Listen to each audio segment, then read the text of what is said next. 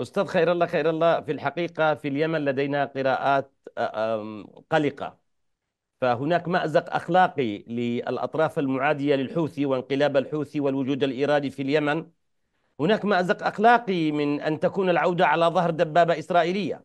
وبالتالي لا يحبذ أحد في اليمن أن تأتي إسرائيل لتقتل عبد الملك الحوثي أو لتنسف جماعة الحوثيين.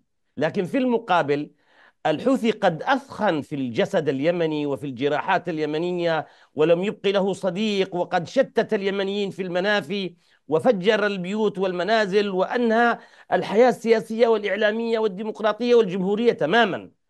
فاليمنيون أمام هكذا مأزق.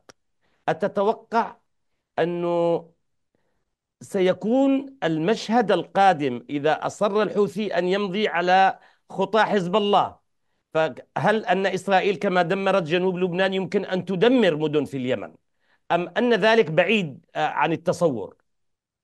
لا إسرائيل ممكن تدمر أماكن معينة في اليمن.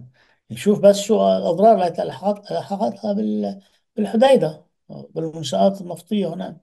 يعني هذه المنشآت يا سيدي هي ملك اليمنيين وليست ملك عبد الملك الحوثي. ما أن المشكلة هو تكون السيناريو القادم هي المشكلة؟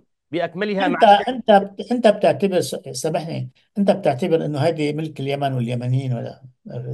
عبد الملك الحوثي يعتبر إن هذه كلها أملاكه وأنها حق إلهي بالنسبة إليه. يعني صنع نفسه بيعتبرها حق إلهي وهذا يعني يجب أن هو اللي يكون الإمام الجديد.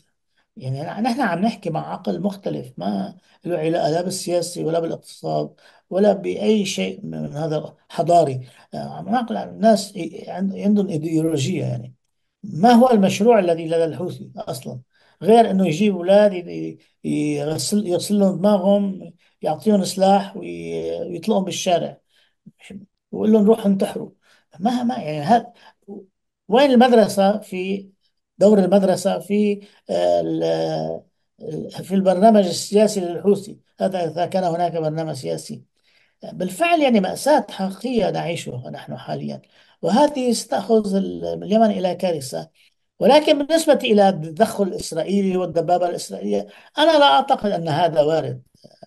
ما حدا بده يفوت على اليمن لا حدا بده يدخل على صنعاء أهل اليمن أدرى بشعابها أظن. وعاجلا أم آجلا أظن أنا عندي رأي شخصي بس إنه التركيبة اليمنية ستنتصر. يعني لا يمكن حتى لو حصل كل هذه المصائب التي لحقت بالقبائل.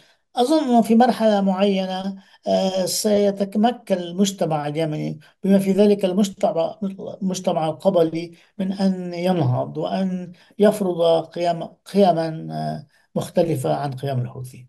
أظن ذلك يعني عمليا.